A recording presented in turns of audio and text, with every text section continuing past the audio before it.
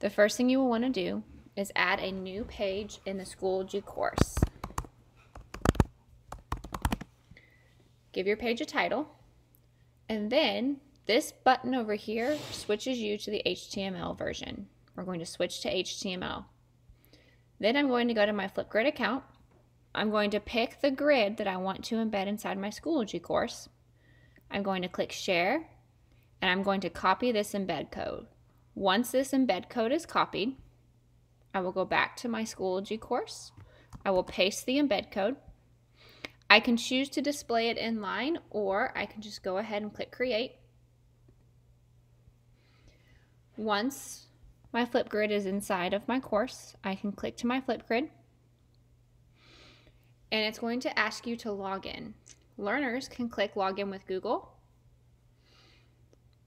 They can click to log in with their Google account right here.